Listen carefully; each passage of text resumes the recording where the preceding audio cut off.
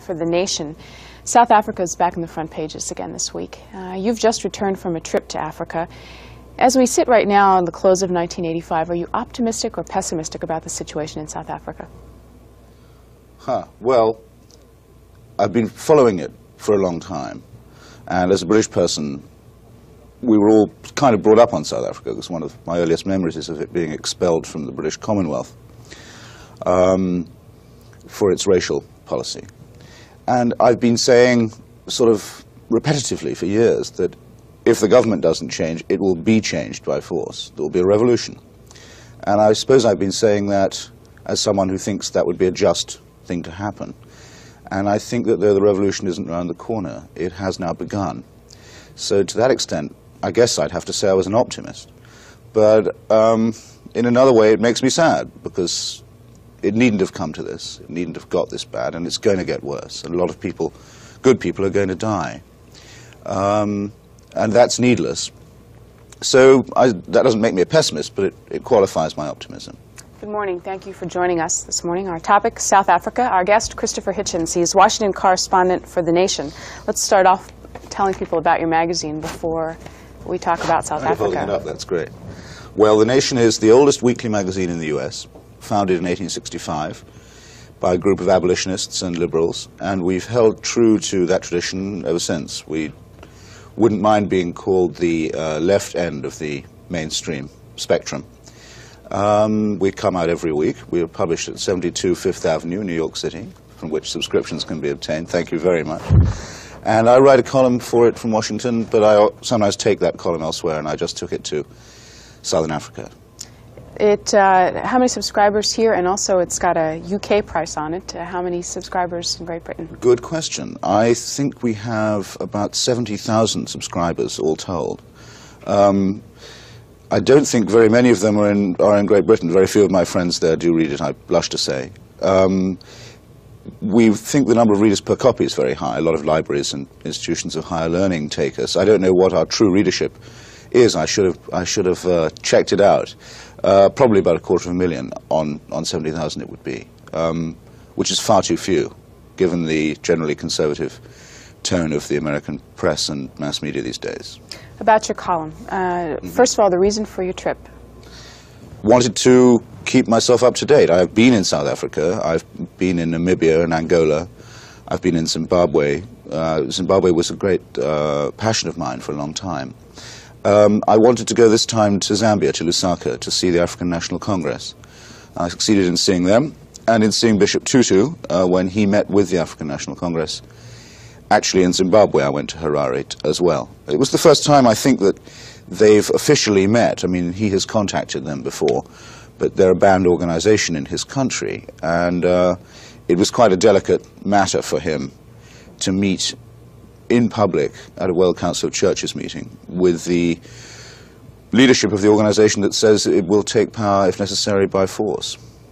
Your intention was to get into South Africa itself? Well, they've just put a freeze on all press visas now. I mean, they, uh, they've got a lot to hide, and uh, they hide it rather clumsily um, by means of censorship, banning orders, restrictions, and so on. Even now in South Africa itself, you need a permit uh, to go to Soweto or to go to any of the black townships, unless you're a black person, in which case you're not allowed to leave the township, and if you're a black reporter, they can't tell you you can't go where you're forced to live.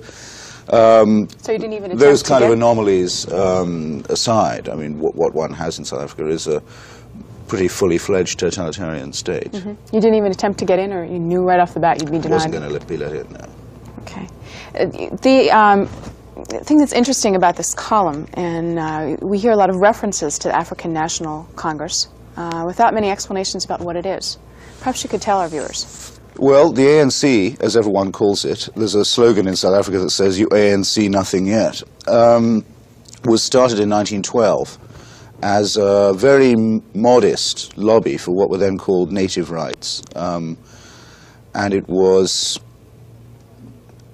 something like what the NAACP used to be here fairly polite, well mannered, middle class, fairly Christian, at any rate religious, was the main denominations in South Africa.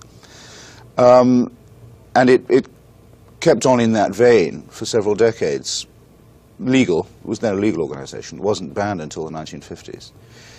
But as the uh, white minority moved to consolidate power absolutely by law, to say that uh, South Africa would be totally segregated and that uh, no black person would ever be allowed to uh, frame the decision on how he or she would live, um, the Congress had to become more militant.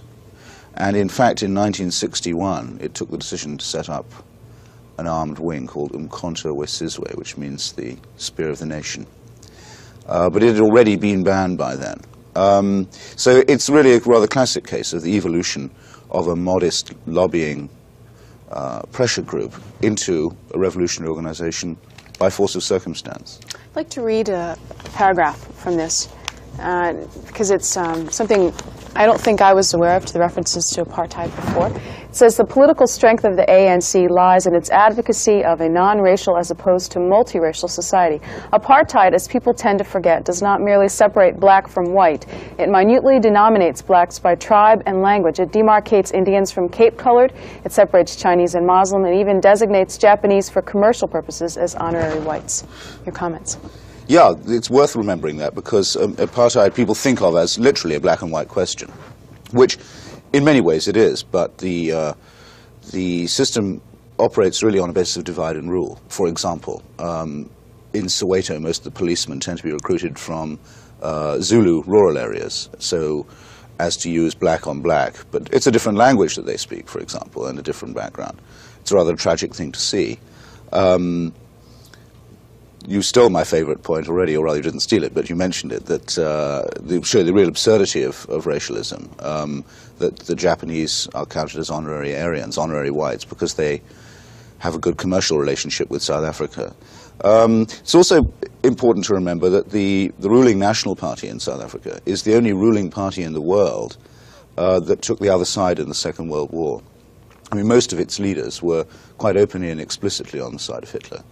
Um, and because of his racial theory, it used to be uh, officially anti-Semitic as a party. Now, because of its relationship with Israel, that's slightly been uh, watered down, but not by no means entirely. There's a very strong streak of anti-Jewish prejudice in the in the uh, Afrikaner leadership also.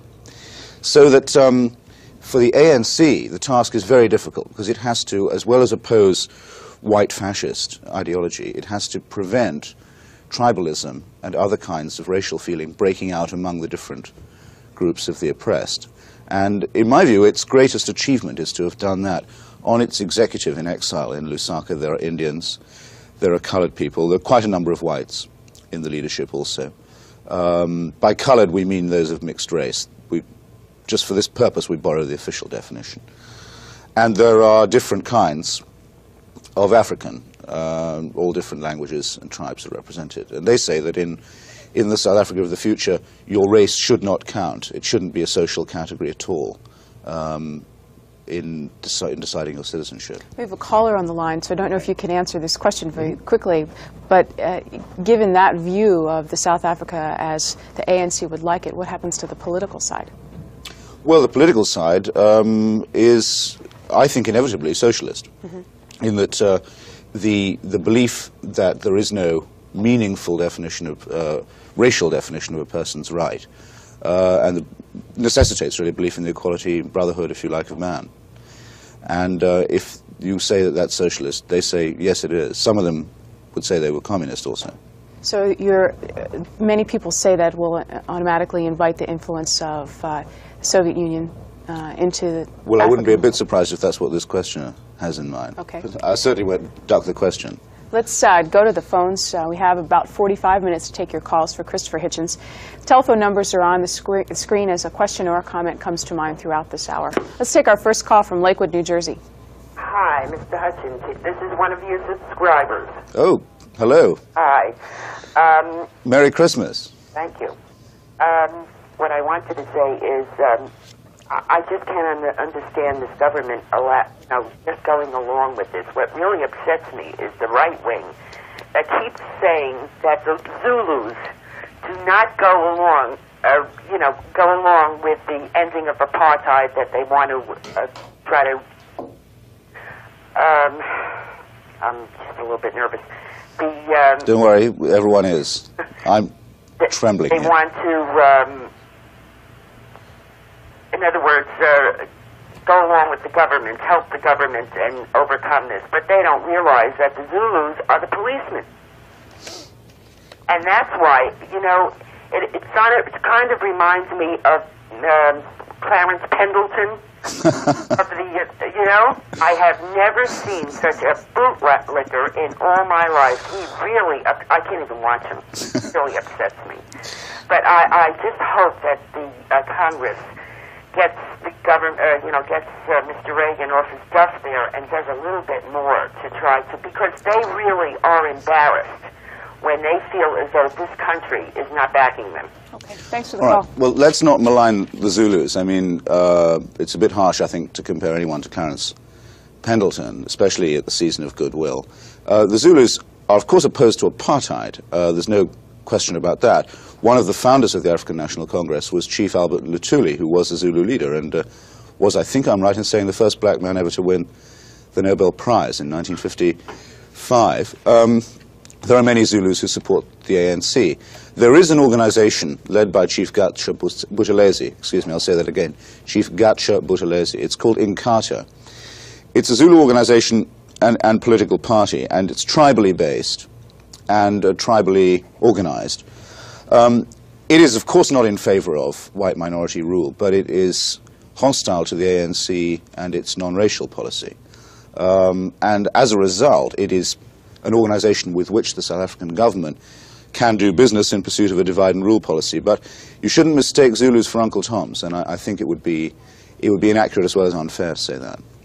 Go out to California for our next call. Where is your town? Santee, California. It's about 17 miles northeast of San Diego. Okay. Your question or comment? well, I have both. I'd like to ask you a question, Susan. Appreciate the program, but I, I would like to make a comment uh, regarding your guest.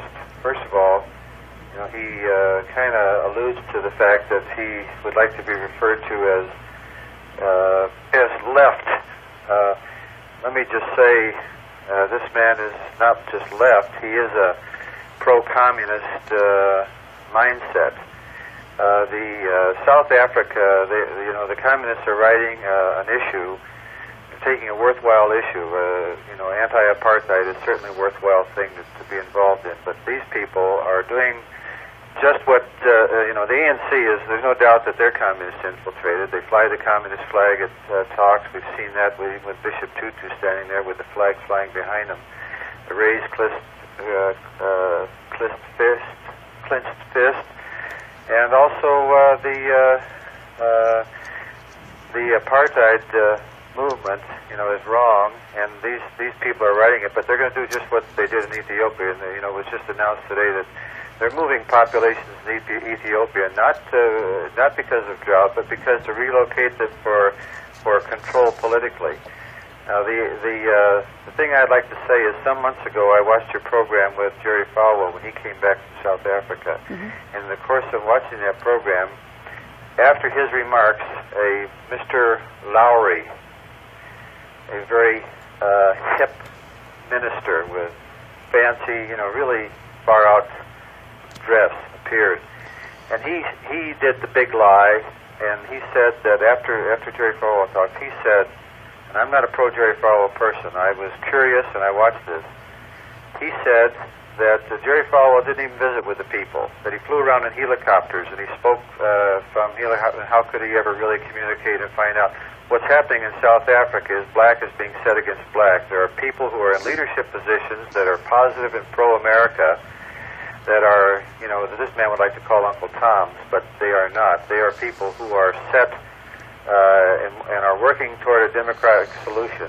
But these others, these radicals, won't let them. They're doing, they're killing them just like they did in. Uh, it's the communist method. They did it in uh, South Vietnam. They've done it all over the world. How about that question for us? The question I'm asking you is, how come you didn't expose Lowry about the big lie? How come the press just sat and gobbled him up and applauded? They sneered. Their questions toward Falwell were pointed, uh, slanted and uh, their questions to Lowry were just uh, applauded. Whose questions? Some you, as the press, as C-SPAN, didn't catch that didn't investigate it, didn't reveal it, didn't bring out the big lie, and why they were playing this down, and why Falwell basically has been silenced. And Okay. why didn't you folks do that? All right, and uh, thank you for the, the comments. C-SPAN is a public affairs network, doesn't do any investigative reporting, uh, so that's the short answer. But I'd like to get your comments to them. Any observations? Yeah, I don't. I don't mind uh, pointed or slanted questions either, and um, um, I don't feel that they're illegitimate, and I don't mind even the one you asked me, which I'll come to right away. Um, the South African Communist Party um, is now and was for a very long time, has been for a very long time, the only political party in South Africa that doesn't discriminate on grounds of race in its membership. Uh, this has earned it uh, a position of respect and admiration among a lot of black people, as you'd expect. I think it's to the credit of the Communist Party. I'm afraid I can't think of any other way of putting it, that that's always been their view. It's the only thing that is to their credit. In every other respect, politically speaking, they're an unusually conformist Moscow line group. But some of their people, in particular some of their lawyers, uh, have acted, in my opinion, uh, heroically in the past. Now, what makes me uh, so confident about what I say about the ANC, uh, and what makes me so sure that uh, Jerry Falwell is yet again either being sold a bill of goods or selling one, or both, is this. Um, there is no survey of African opinion in South Africa that does not consistently reveal, uh, whatever the question is, and however it's put, that the popular leader is Nelson Mandela and Nelson Mandela is the honorary president of the African National Congress.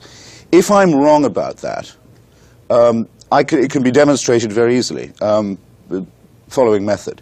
Nelson Mandela can be freed from prison and invited to contest a democratic election.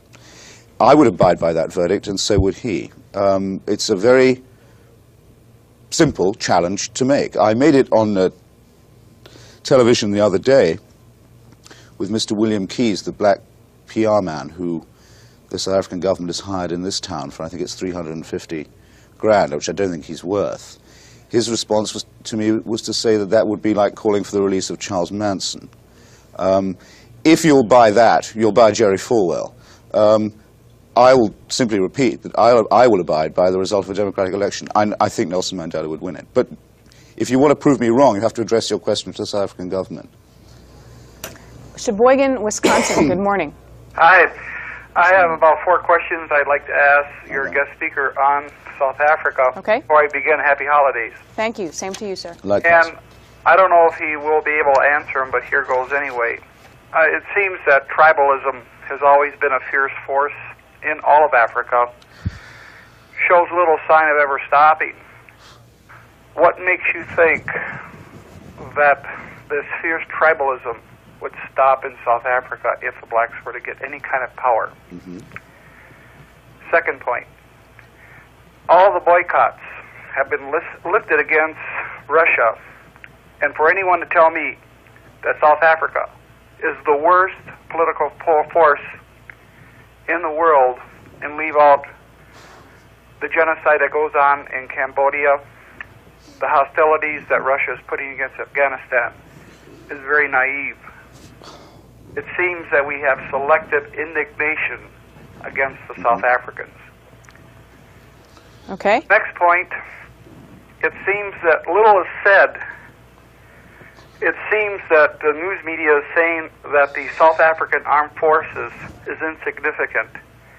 They have yet begun to flex their muscles.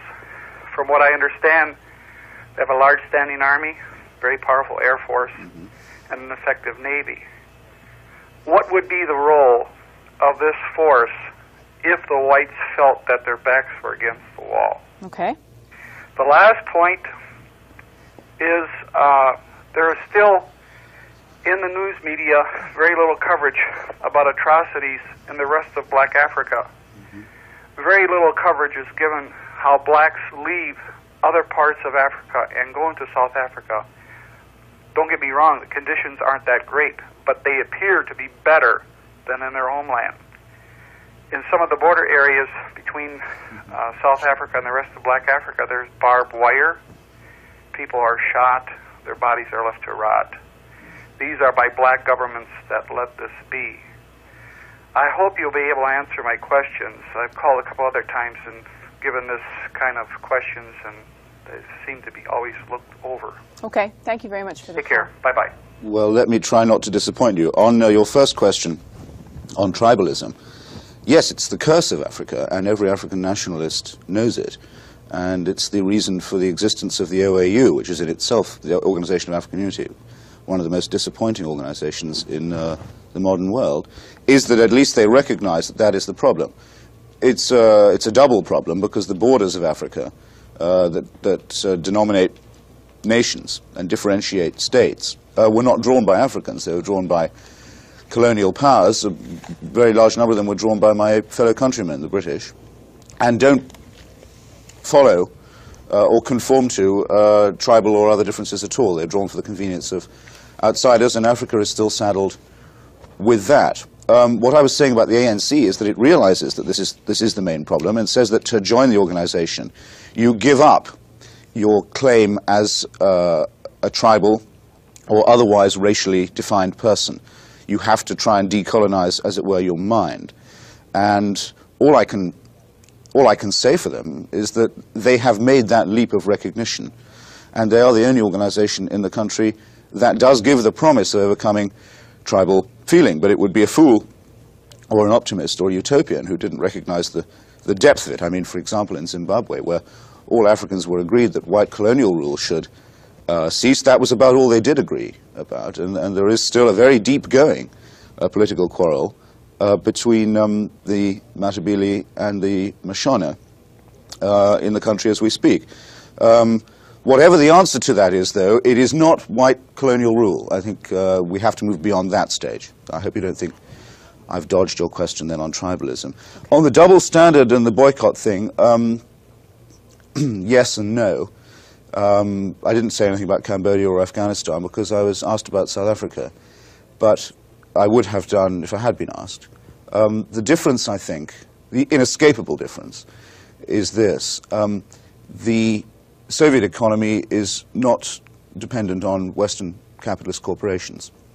The South African economy, to a very large extent, is. That's to say, we are, in the West, responsible for South Africa, in, not just in the moral sense, but in the practical sense. Money is made by American and British corporations principally, but also by French ones and West German ones. Uh, from that economy, uh, its labor practices and its uh, system of double oppression, that's to say people oppressed both as workers and as people of a different color, is in our camp. Um, thus, the call for sanctions and boycotts is not just a matter of a gesture, it's a matter of accepting and recognizing a responsibility. That, I think, distinguishes it from, say, the Polish economy. Uh, though, though if you were to say to me that the Polish economy is largely underwritten by Western banks, you'd be right, and I'd be in favor of taking the point in the same way. I'm not for a double standard. Um, on the uh, army and the sorry. Can I interrupt you at yes, that point? Uh, we've got a caller that's been waiting a bit, and rather than rack Uh, up his well- long distance charges, why don't we take that call and we'll go back to the last two I questions? just the, the I'm anxious because the questioner said he'd had his We'll questions sloughed off before. I'm keen to take them on the chin. Okay, we will get back to them. I've got Okay, them written sure. down. Portsmouth, Virginia. Go ahead, please. Good morning. Good morning. Morning. First of all, Christopher, I'd like to encourage you. I think that you're one of the most finest men that I've had the observe in the few years. Well. I'd like to make two comments, and I'd like to make an invitation to you. First of all, President of Glory Enterprise and Educational Foundation, 1317 East Brambleton Avenue, Norfolk Virginia, 23504. Now, I know you're smiling, but the reason I give you that, Christopher, is because I'm hoping that you would have the opportunity to come to Virginia. I think that the citizens in Virginia need people like you to address them because of their lack of understanding of world or global problems. What you speak as we have to go beyond white colonialism, as I would say we have to go beyond black supremacy. I think one of the things that we need to consider is that millions of little babies are being affected by the oppression around the country. And I heard little mention about the fact that these innocent little children caught up between the struggle.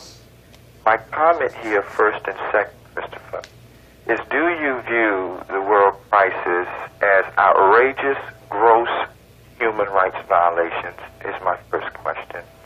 And my second question, Christopher, is would you say that these men uh, yield to God, our world leaders? Do they even conceive in their confines at all that little children are being deprived freedom? Okay, thank you for the call. Um, it's not obviously just at Christmas time that one thinks of uh, what a reproach it is that any child should um, have to suffer for the stupidities and crimes of, of people who know better, uh, people like ourselves. Um, but I suppose that makes it a more appropriate time. For some people, anyway, even people like myself who aren't, aren't lucky enough to have a belief in uh, God to sustain them. Um, aren't immune from the, uh, the Christmas sentiment. Um, that's, I suppose, why South Africa moves people so much, because though we know that the human race has all kinds of inherent difficulties and possibilities that it will, it's by nature unhappy, there are some things we can see that are done that are just unnecessary, that, that we know we can cure and that are, that are needless. And one of these is, is racial prejudice. Uh, any, any thinking person can see through it and outgrow it. And to see it in practice is, is an outrage. And uh, to feel that one's own government or one's own system is in any way condoning or supporting it is a terrible reproach also. So I hope that's, I hope that's a, a sort of answer to your question. Okay, we'll take a call from San Antonio, and then we'll get back to those two questions. right. I'll ask our producer to hold off with calls for just a second so we can get those two responses. San Antonio, good morning. Morning.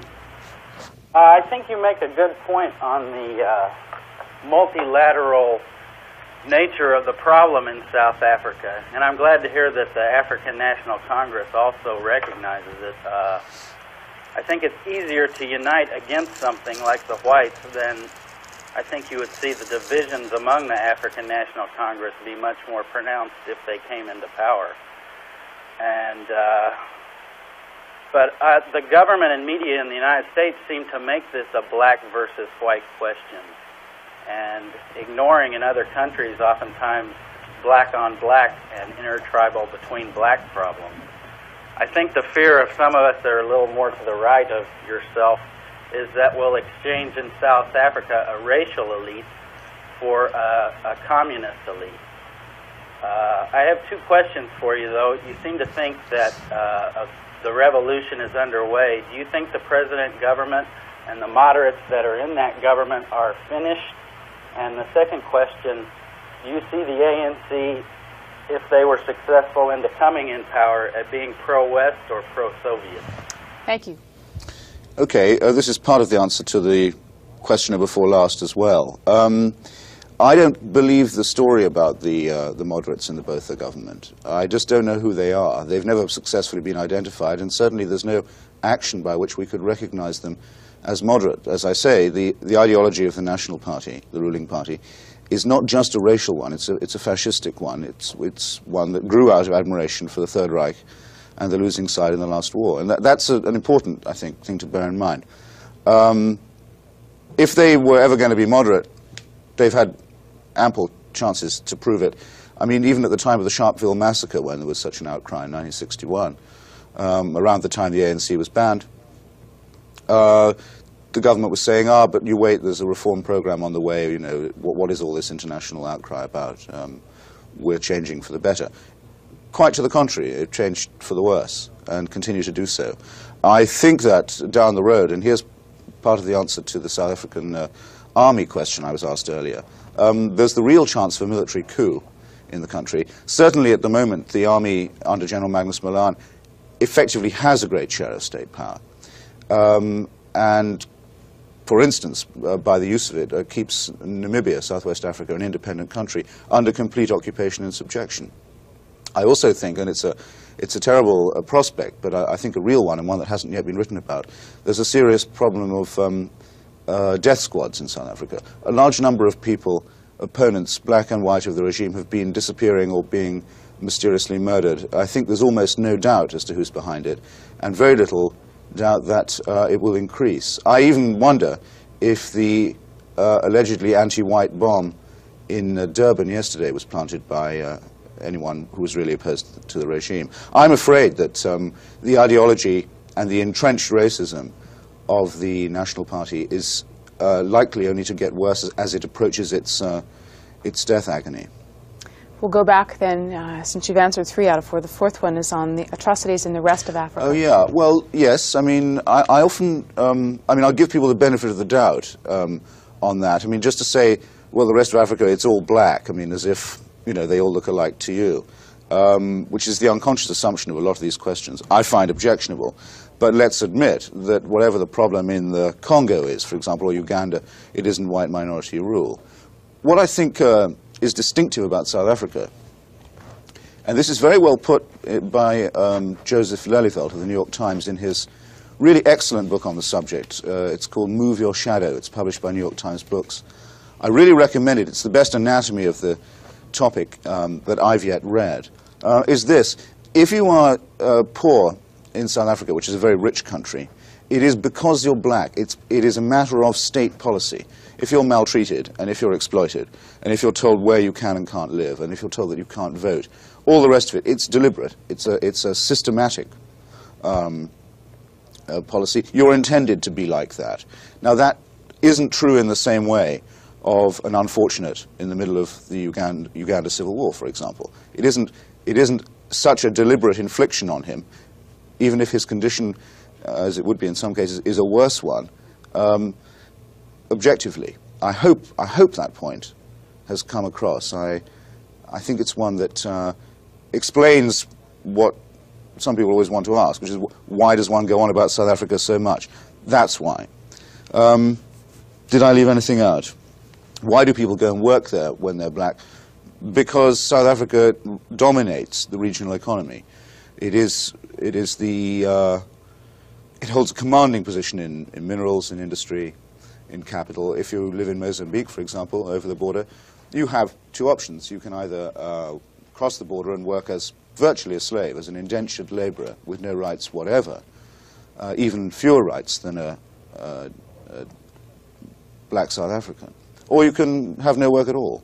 I don't really think, therefore, a person who resolves that problem by crossing the border as an indentured laborer is paying any compliment to the South African system. Newspapers this morning have many editorials on South Africa, from the Washington Times to the Washington Post. As we take our next call from Grand Rapids, I'll show you the Tony Auth cartoon in the Philadelphia Inquirer on South Africa. Good morning. Caller, you're on the air. Good morning. Morning. I wanted to ask Mr. Hitchens about uh, South Africa and why everyone seems to be so against the homeland concept uh, maybe the way it's implemented right now is wrong, and I'm not certainly in favor of apartheid, but it doesn't seem to me, after living in the country for a few months, that there's actually going to be power sharing, that, that it's possible, it's workable down there. Hmm. It seems like a division of the country and uh, separate rule is just about the only way that there's going to be... Uh, peace and a peaceful solution. Thank you. Well, some people have said that the, the end result of all this will be a repartition of the country, with, in effect, the whites building themselves a Bantustan um, and not trying to rule everybody else as well as themselves. Um, I think myself that's unlikely, because a repartition of the country would mean them giving up the areas that are rich in gold and uranium and the other and diamonds and the other reasons that they're there in the first place.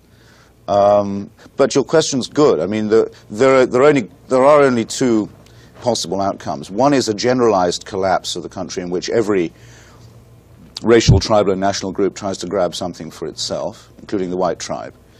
And the other is the, the solution of the ANC, which is a, a non-racial republic. Which reminds me, I do have a question unanswered, which is what form of government, whether pro-Eastern or pro-Western, I think that would take. Um, I think the answer to that question lies very much with the United States. Um, it, the United States has it in its power to resolve that question.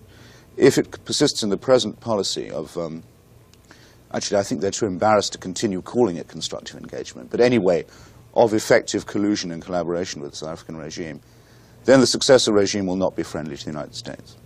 Norfolk, Virginia, good morning. Yes, I have a question about uh, what he just said about South being the uh, economic strength of the uh, nation itself. And I was just wondering about the newly formed Congress of South African Trade Unions. Uh, the leader, Mr. Elijah Buriari, I don't know if that's pronounced that or not. He is uh, challenging the government. He's given them like six months uh, to Mr. Bolton to abolish the tax laws. Yes. And I was just wondering if the, because there's like 500,000 workers you know, under this union right now, it's growing in strength. Uh, We have a slightly vague connection, I'm afraid. I'm not hearing everything you say. Um, Caller, would you start that sentence over again? We just lost that one. excuse me? You Start your last sentence over again. Okay. Do you do you see a strike by this union as severely crippling the nation, and what do you see the United States doing? Okay, thank you. Okay. Well, yeah, as I said earlier, I mean, the, the South African system, um, though it is based on a racial demarcation, uh, is also a system of exploitation. I mean, if, it, even if it was, everyone there was the same color, uh, it would still be an outrageous system of exploitation. Um, and the emergence of the Congress of South African Trade Unions is one of the most powerful signs of that discontent in, in the last several years for the very reason you mentioned, which is the extreme vulnerability of an economy that's so heavily based on foreign investment. Already, you see, foreign investors are beginning to doubt whether they, they spent their money wisely and are reluctant to invest any more. Uh, the, the rand, the national currency, al- almost went through the floor the other day because of foreign confidence and, and its erosion. Um, so I think that a mass workers' movement is, is a very uh, likely means for the, for the advancement of the, uh, of the black and um, democratic cause. If you've just joined us recently, we're talking with Christopher Hitchens this morning. He is the Washington correspondent for this publication, The Nation. He uh, has been with the organization since 1978, also Washington correspondent for The Spectator, based in London, and writes a column on the American scene for London Times Literary Supplement. Uh, in your prior uh, assignments, you were foreign editor of The New Statesman and author of a book called Cyprus. You're very well informed. We're, we've uh, got about 20 minutes left with Mr. Hitchens. Let's go next to Houma, Louisiana. Good morning. Yes, Mr. Hitchens. The last time I saw you on television was an interview that you did with that uh, South African black PR man, and I found that a very interesting interview uh, because of the fact that a black man was supporting the basic apartheid government. Where was it televised? Uh, if you don't mind me saying, it was on the uh, cable news network. Okay. on Crossfire. And the thing that was I found very amazing is that Robert, well, the, one of the, course, the uh, correspondents that was in the interview, really, um, I, what was I forgot some of the words that he used. Uh, you, that you, you felt like that you were backing a communist type government in South Africa and things like that. But just a few short questions. Number one, does the white government in South Africa have enough uh, artillery to to keep the, uh, the the black population from just flat out overthrowing them, if it came down to that. Um, number two, what do you think will be? I know we've kind of dilly dallied around on this the whole program, but what do you think will be the final outcome of South Africa? And that's all. That's all I'd like to ask. Okay, thank you. Yeah, um, actually, I was. I, I still realize I've I've left a question dangling, which you've reminded me of about the armed forces. South Africa has tremendously sophisticated uh, Western-provided armaments. Uh, it ranks really almost as a NATO member uh, with some of its alliances, and with the sort of equipment to which it has access, either from the West or from Israel. It also has nuclear weapons, which it uh, acquired from the Israelis and the French, or the technology for which it acquired from the Israelis and the French. Um, but none of this is going to do it any good. I mean, they can invade, and they do invade Angola. They've made incursions into Mozambique, into Zimbabwe. They occupy the whole of southwest Africa and Namibia. Um, and they could certainly beat any army that the, the rest of Africa combined could put in the field. But it's not going to help them against their own people. Um, I, I think there are fanatics in the government who would go as far as, say, Somoza did in his dying days and literally bomb their own cities. They're not going to nuclear bomb their own cities. The nukes are no good to them.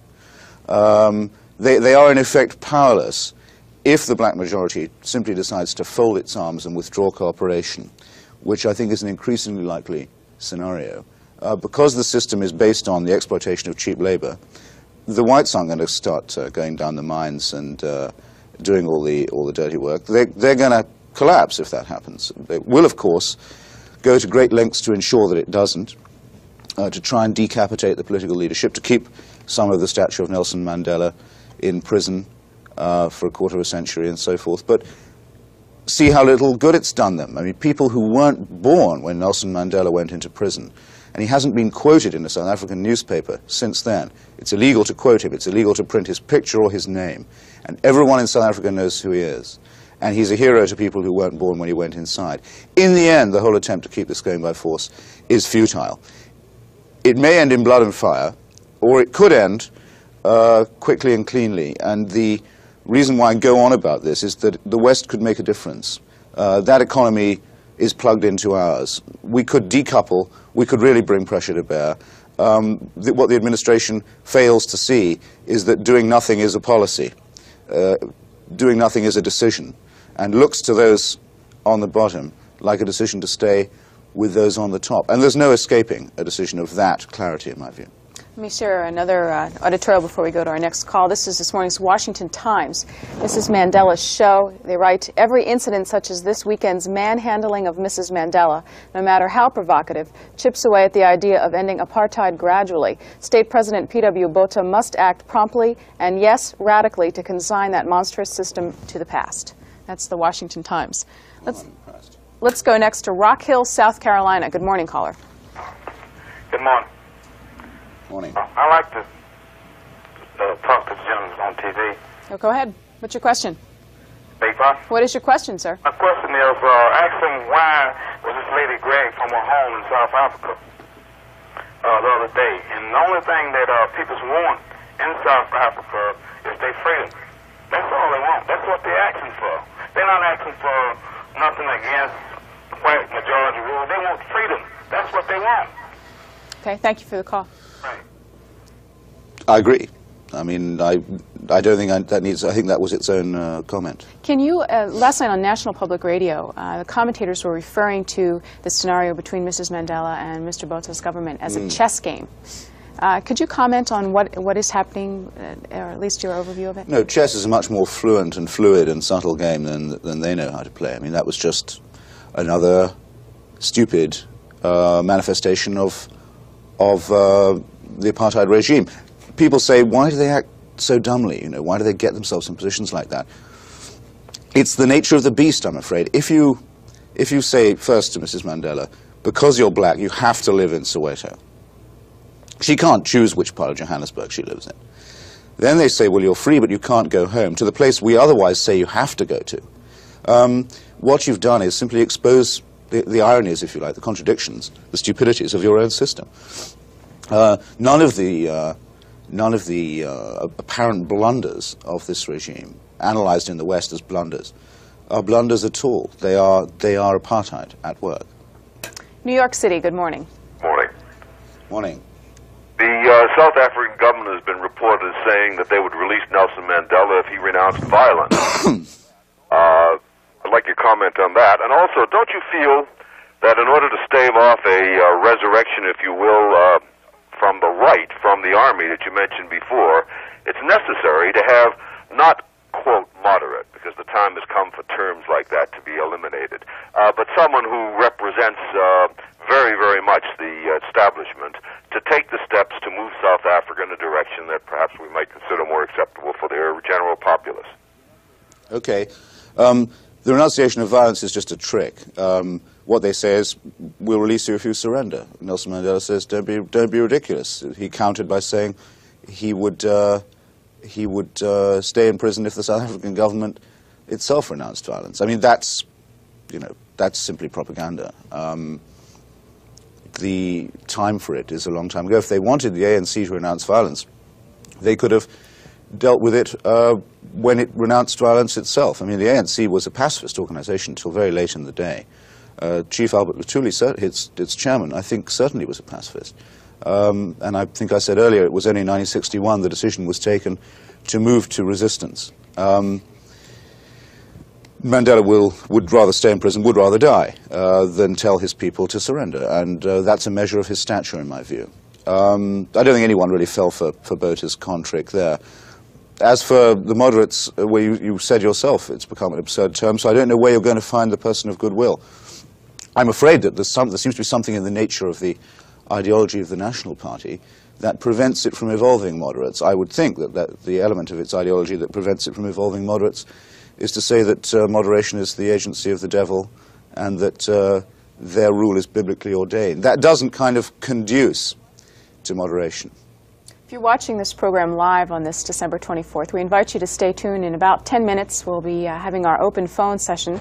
And the topic this morning is the Man of the Year. Uh, next week, Time Magazine will be coming out with its annual issue naming the event or uh, person who, for good or ill, has changed uh, uh, the world this year. And we'd like to hear your nominations on whom you think would best be awarded the Man of the Year this year.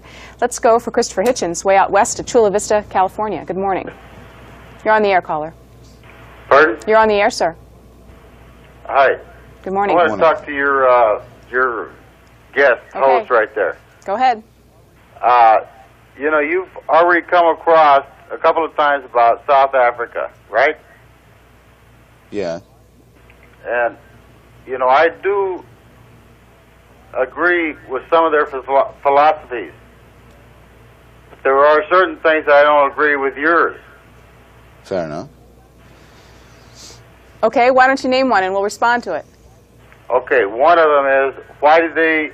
Why did the American? Or how come the South South African government arrest that lady in that government? Right? What do you disagree with, sir? Why did they? I want to know why they arrested her. Okay. I think we did respond. Uh, Well, yes, but I, I mean, I can just say it quickly because she is, uh, while her husband, Nelson Mandela, remains in prison, where he's been for 21 years, as the spokesman of the black majority, she very courageously uh, acts as his spokesman, and as she believes he would wish her to act while he's, excuse me, while he's powerless. Uh, for this, she's incurred the hatred and the repression of the South African government and has for the last uh, decade at least been in, in restriction, as they call it, which means that she's been confined to her home. the column that you've written in The Nation this week is called Minority Report. Uh, have you been filing some columns from Africa as you travel? That was the second of two that I did from, from uh, Southern Africa, yeah. It's, it's always called Minority Report. Um, that's its, its name. How many do you anticipate writing on this topic? Do you have a schedule in mind? Um, well, it looks like it's not going to go away as an issue. It's going to stay in the headlines. I hope I'll be able to keep up with it, and I hope I'll be able to return. How long were you actually there? I was there for three weeks. Okay, let's take our next call for you from Knoxville, Tennessee. Good morning. Morning. Okay. Your question, sir. First of all, I'd like to say that I enjoy your program very much. Thank you. And um, secondly, um, I'm very much against apartheid as a whole, but I think there are several questions that have to be answered. People think that there are going to be two things happen. First of all, um, the blacks overthrow, or there'll be some kind of um, uh, compromise. But um, I think you're dealing with the situation much like you had in India when they first achieved their freedom. I don't believe there's any black who can really rule the country of South Africa. They've been suppressed for so long, and uh, even if Nelson Mandela, you know, were released from prison, by any stretch of the imagination, I don't believe he's able to rule South Africa. Um, That does not say that they don't deserve their freedom. I believe they do, but you know, the the country is a very important e- economic force in the world, and it can just not just be um, thrown to the wind of um, revolution. Thank you. Thank you. If you uh, took the executive of the African National Congress and added up all the university degrees and other qualifications that they have between them, not to speak of the decades in prison that they've amassed as well, the wastage of their time, uh, or rather, in spite of all that, you'd find that it easily, easily outbid the collected expertise and qualifications of the South African cabinet. There's no question at all that, that the ANC, if it's permitted to, can form a, an orderly uh, transition regime there and could be voted into power uh, if an election was held. Um, if that isn't allowed to happen. It's not the ANC's fault. And yes, there's a possibility if the uh, extreme right go down fighting that the place could go through a Lebanese experience before it gets to its independence. But what you can't stop is people wanting that independence by one means or another. They've taken the decision, as I put it in my article, that this is the last unfree generation, that they will survive the regime. That decision, once taken, is, is quite impossible to untake. So it'll come one way or another, and I repeat, uh, the Western democracies um, have a large role to play in deciding whether it'll come by, by democratic means or not. Mr. Hitchens' next call is from Anchorage. Good morning. Good morning. Morning. How's the uh, greatest show in the world going? Oh, thank you, sir. Happy holidays to you. Happy holidays to you.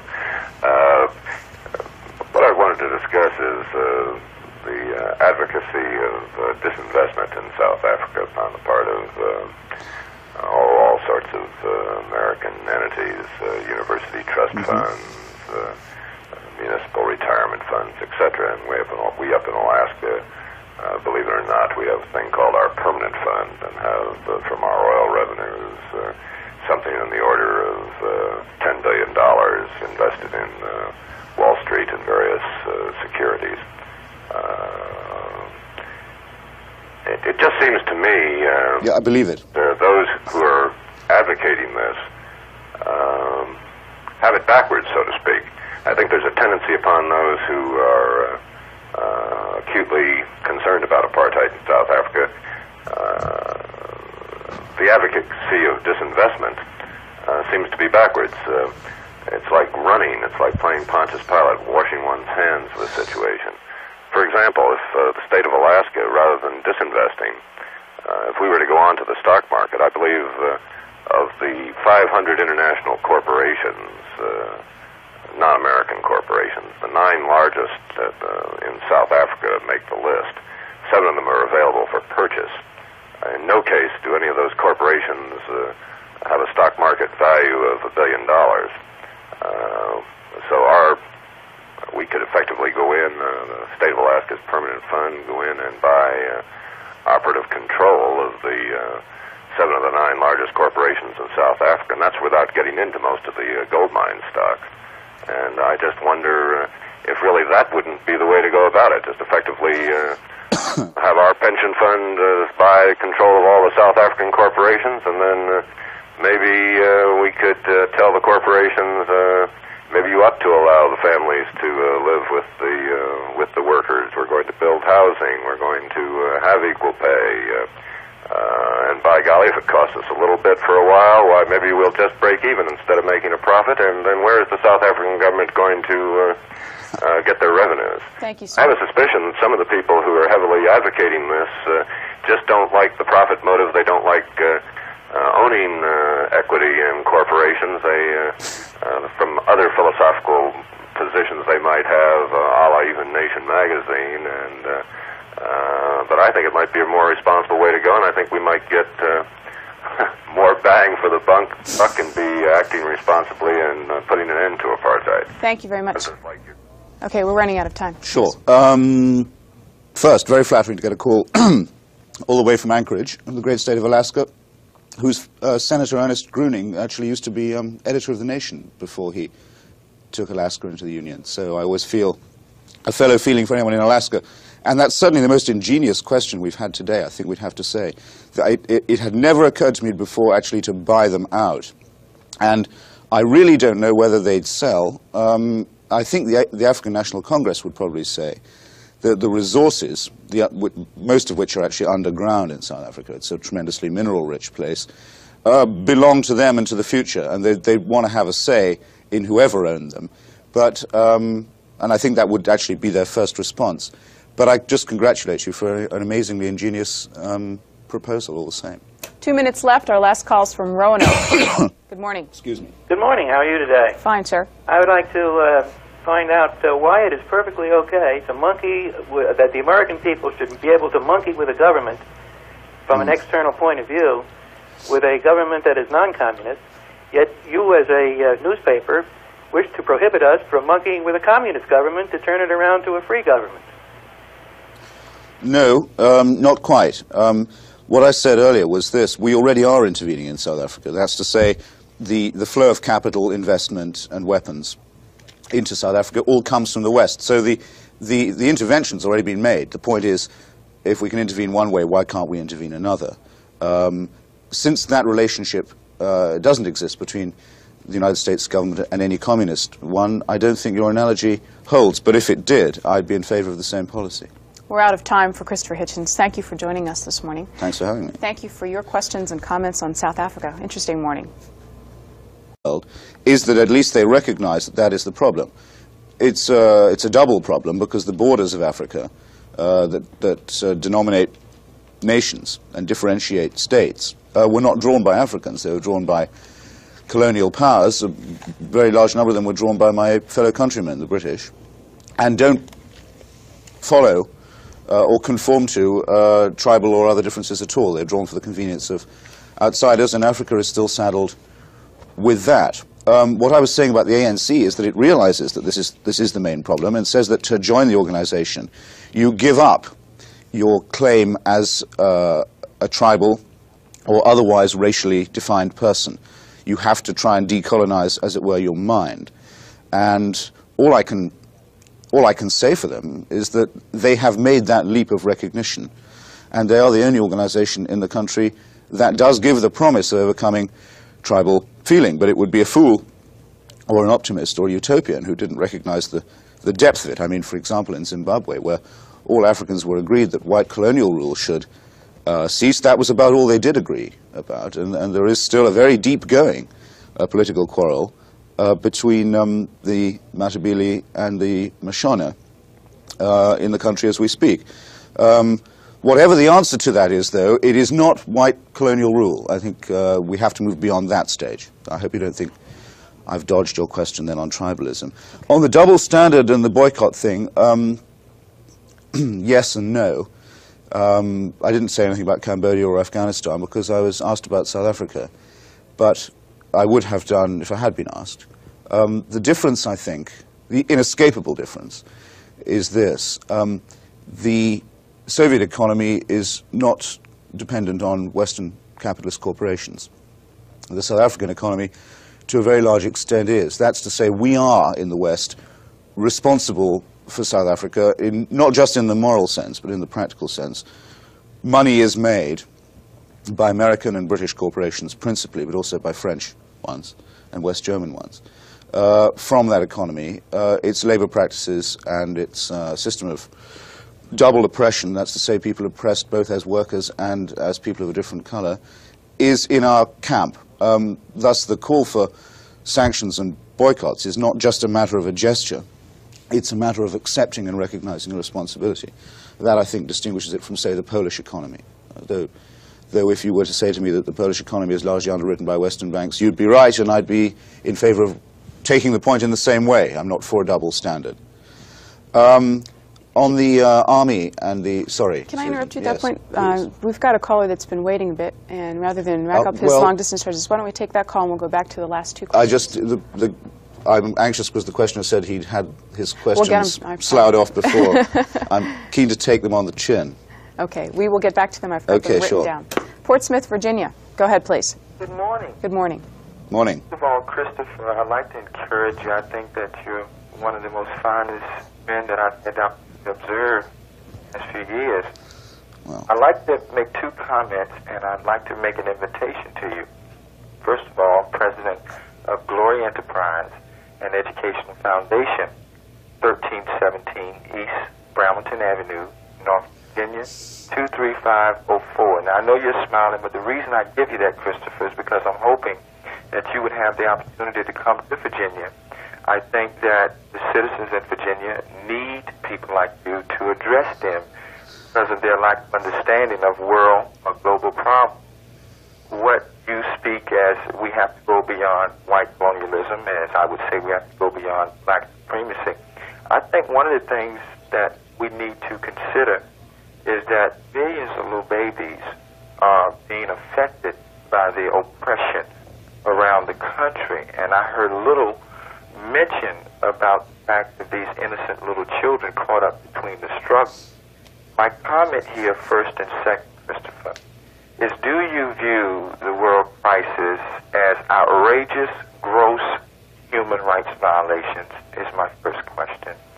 And my second question, Christopher, is would you say that these men uh, yield to God, our world leaders? Do they even conceive in their confines at all that little children are being deprived freedom? Okay, thank you for the call. Um, it's not obviously just at Christmas time that one thinks of. Uh, for the nation. South Africa is back in the front pages again this week. Uh, you've just returned from a trip to Africa. As we sit right now on the close of 1985, are you optimistic or pessimistic about the situation in South Africa? Huh. Well, I've been following it for a long time. And as a British person, we were all kind of brought up on South Africa. because one of my earliest memories is of it being expelled from the British Commonwealth um, for its racial policy. And I've been saying sort of repetitively for years that if the government doesn't change, it will be changed by force. There will be a revolution. And I suppose I've been saying that as someone who thinks that would be a just thing to happen. And I think that though the revolution isn't around the corner, it has now begun. So to that extent, I guess I'd have to say I was an optimist. But um, in another way, it makes me sad because it needn't have come to this. It needn't have got this bad, and it's going to get worse. And a lot of people, good people, are going to die. Um, and that's needless. So I, that doesn't make me a pessimist, but it, it qualifies my optimism. Good morning. Thank you for joining us this morning. Our topic, South Africa. Our guest, Christopher Hitchens. He's Washington correspondent for The Nation. Let's start off telling people about your magazine before we talk about South for Africa. holding up. That's great. Well, The Nation is the oldest weekly magazine in the U.S., founded in 1865 by a group of abolitionists and liberals, and we've held true to that tradition ever since. We wouldn't mind being called the uh, left end of the mainstream spectrum.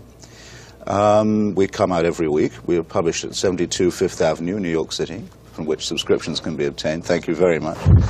And I write a column for it from Washington, but I sometimes take that column elsewhere, and I just took it to Southern Africa. It, uh, how many subscribers here, and also it's got a UK price on it. Uh, how many subscribers in Great Britain? Good question. I think we have about 70,000 subscribers all told.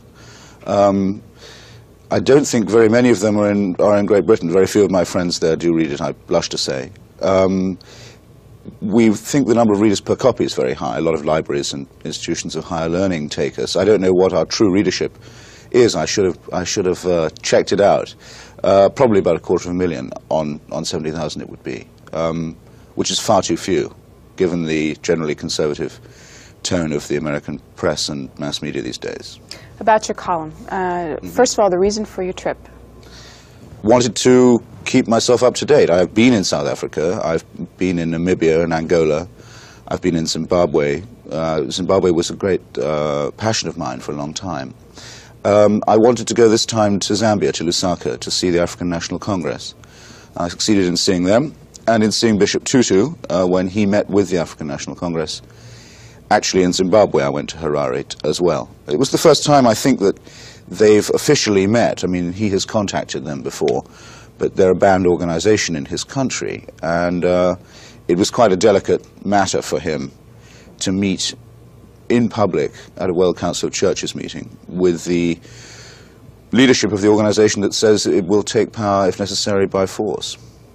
Your intention was to get into South Africa itself? Well, they've just put a freeze on all press visas now. I mean, they, uh, they've got a lot to hide, and uh, they hide it rather clumsily um, by means of censorship, banning orders, restrictions, and so on. Even now in South Africa itself, you need a permit uh, to go to Soweto or to go to any of the black townships, unless you're a black person, in which case you're not allowed to leave the township, and if you're a black reporter, they can't tell you you can't go where you're forced to live.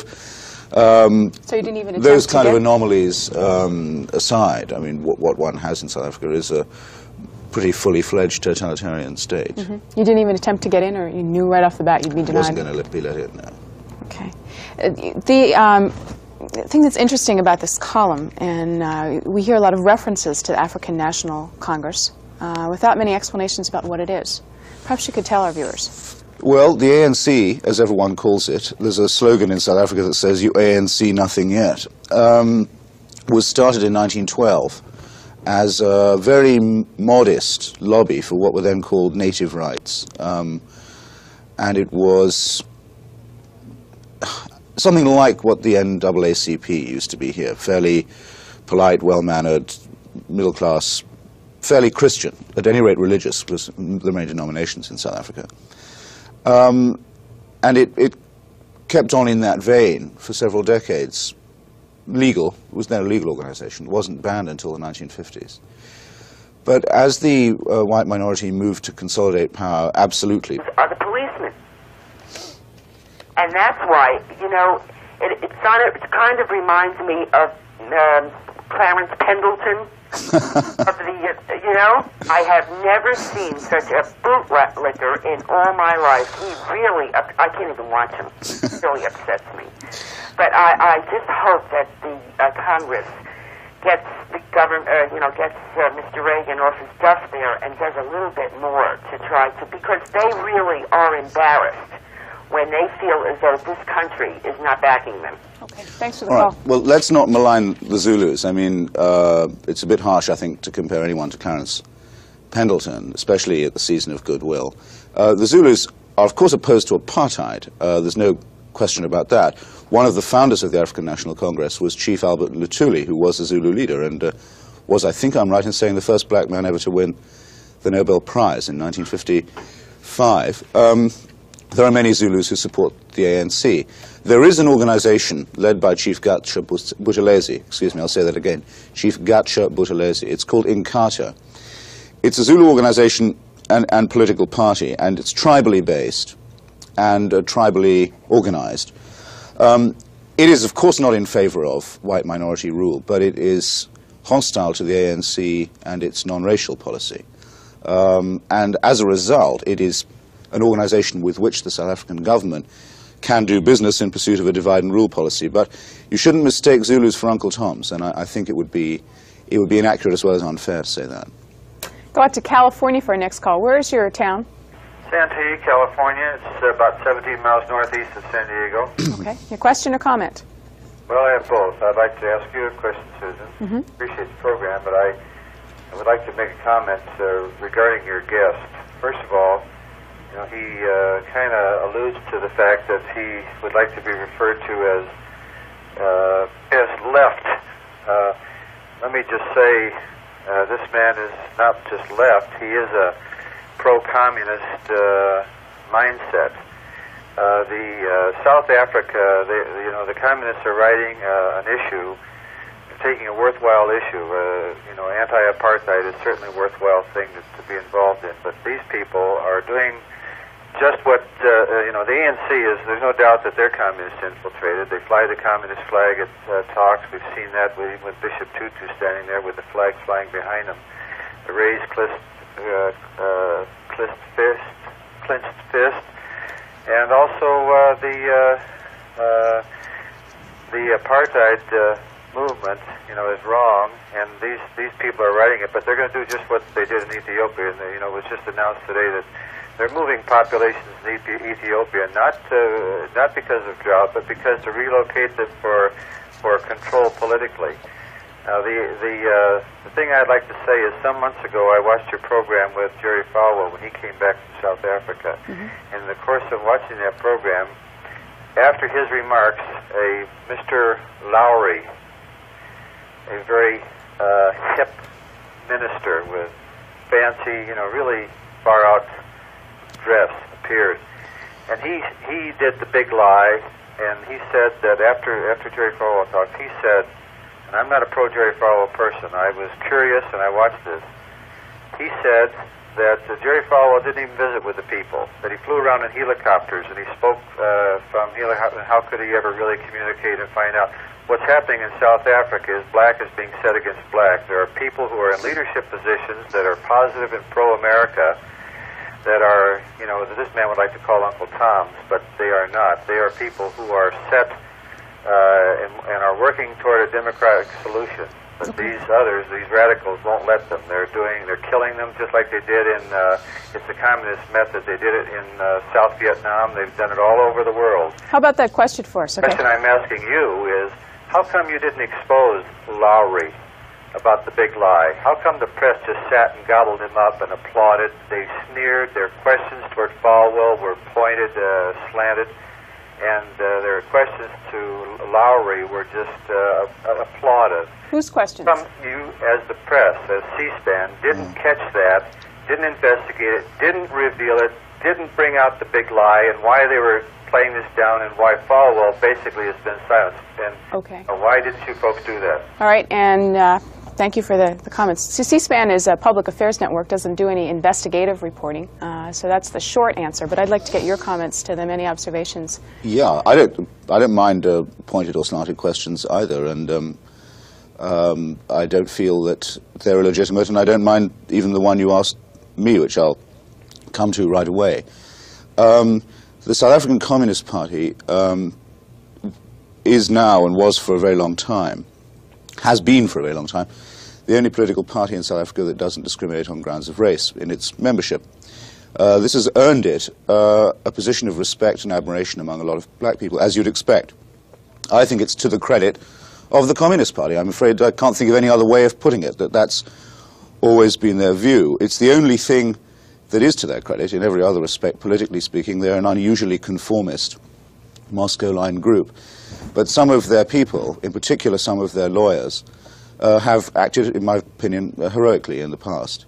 Now, what makes me uh, so confident about what I say about the ANC, uh, and what makes me so sure that uh, Jerry Falwell is yet again either being sold a bill of goods or selling one, or both, is this.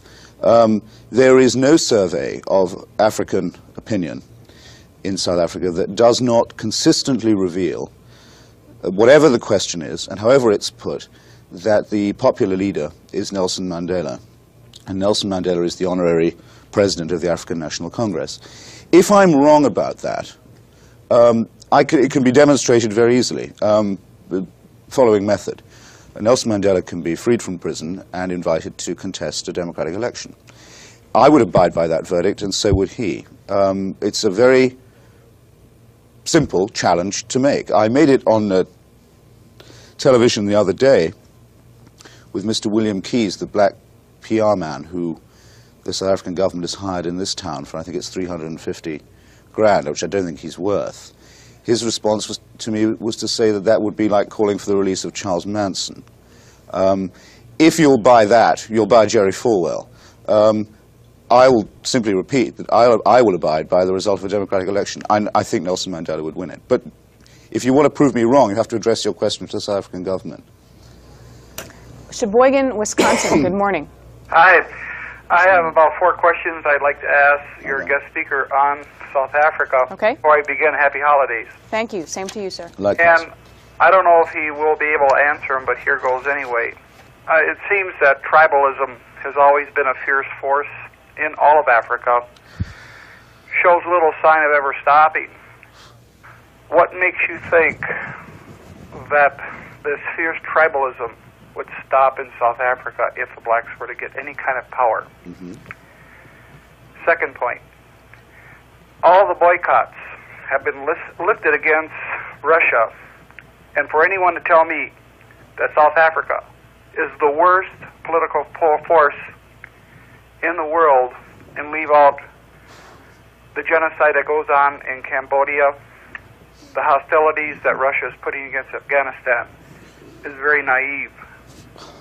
It seems that we have selective indignation against the South Africans. Okay. Next point, it seems that little is said. It seems that the news media is saying that the South African armed forces is insignificant. They have yet begun to flex their muscles. From what I understand, they have a large standing army, very powerful air force, and an effective navy. What would be the role of this force if the whites felt that their backs were against the wall? Okay. The last point is uh, there is still in the news media very little coverage about atrocities in the rest of black Africa. Very little coverage is given how blacks leave other parts of Africa and going to South Africa. Don't get me wrong, the conditions aren't that great, but they appear to be better than in their homeland. In some of the border areas between uh, South Africa and the rest of black Africa, there's barbed wire. People are shot, their bodies are left to rot. These are by black governments that let this be. I hope you'll be able to answer my questions. I've called a couple other times and given this kind of questions, and they seem to be always looked over. Okay, thank you very much for the Take care. Bye bye. Well, let me try not to disappoint you. On uh, your first question on tribalism, yes, it's the curse of Africa, and every African nationalist knows it. And it's the reason for the existence of the OAU, which is in itself the Organization of African Unity, one of the most disappointing organizations in uh, the modern world by law, to say that uh, South Africa would be totally segregated and that uh, no black person would ever be allowed to uh, frame the decision on how he or she would live. Um, the Congress had to become more militant. And in fact, in 1961, it took the decision to set up an armed wing called Umkhonto weSizwe, which means the Spear of the Nation. Uh, but it had already been banned by then. Um, so it's really a rather classic case of the evolution of a modest lobbying uh, pressure group into a revolutionary organization by force of circumstance. I'd like to read a paragraph from this uh, because it's um, something I don't think I was aware of to the references to apartheid before. It says the political strength of the ANC lies in its advocacy of a non-racial as opposed to multiracial society. Apartheid, as people tend to forget, does not merely separate black from white. It minutely denominates blacks by tribe and language. It demarcates Indians from Cape-colored. It separates Chinese and Muslim, and even designates Japanese for commercial purposes as honorary whites. Your comments? Yeah, it's worth remembering that because um, apartheid people think of as literally a black and white question, which in many ways it is, but the, uh, the system operates really on a basis of divide and rule. For example, um, in Soweto, most of the policemen tend to be recruited from uh, Zulu rural areas, so as to use black on black. But it's a different language that they speak, for example, and a different background. It's a rather tragic thing to see. Um, you stole my favorite point already, or rather you didn't steal it, but you mentioned it, that uh, the, show the real absurdity of, of racialism, um, that the Japanese are counted as honorary Aryans, honorary whites, because they have a good commercial relationship with South Africa. Um, it's also important to remember that the, the ruling National Party in South Africa is the only ruling party in the world uh, that took the other side in the Second World War. I mean, most of its leaders were quite openly and explicitly on the side of Hitler. Um, and because of his racial theory, it used to be uh, officially anti-Semitic as a party. Now, because of its relationship with Israel, that's slightly been uh, watered down, but not by no means entirely. There's a very strong streak of anti-Jewish prejudice in the in the uh, Afrikaner leadership also. So that um, for the ANC, the task is very difficult because it has to, as well as oppose white fascist ideology, it has to prevent tribalism and other kinds of racial feeling breaking out among the different groups of the oppressed. And in my view, its greatest achievement is to have done that on its executive in exile in Lusaka. There are Indians, there are colored people, there are quite a number of whites in the leadership also. Um, by colored, we mean those of mixed race. We, just for this purpose, we borrow the official definition. And there are different kinds of African uh, all different languages and tribes are represented. And they say that in, in the South Africa of the future, your race should not count. It shouldn't be a social category at all um, in, deci in deciding your citizenship. We have a caller on the line, so I don't know if you can answer this question very quickly. But uh, given that view of the South Africa as the ANC would like it, what happens to the political side? Well, the political side um, is, I think, inevitably socialist, mm -hmm. in that uh, the, the belief that there is no meaningful definition of, uh, racial definition of a person's right, uh, and necessitates really belief in the equality, brotherhood, if you like, of man. And uh, if you say that that's socialist, they say, yes, it is. Some of them would say they were communist also. So you're, uh, many people say that will automatically invite the influence of uh, the Soviet Union uh, into the Well, I wouldn't be a bit surprised if that's what this questioner has in mind. Okay. I certainly won't duck the question. Let's uh, go to the phones. Uh, we have about 45 minutes to take your calls for Christopher Hitchens. Telephone numbers are on the scre- screen as a question or a comment comes to mind throughout this hour. Let's take our first call from Lakewood, New Jersey. Hi, Mr. Hutchins. This is one of your subscribers. Oh, hello. Hi. Um, Merry Christmas. thank you. Um, what I wanted to say is um, I, just can't un- understand this government a lot, you know, just going along with this. What really upsets me is the right wing that keeps saying that the Zulus do not go along, uh, you know, go along with the ending of apartheid that they want to uh, try to. Um, I'm just a little bit nervous. The um, Don't worry, everyone is. I'm trembling. they here. want to, um, in other words, uh, go along with the government, help the government, and overcome this. But they don't realize that the Zulus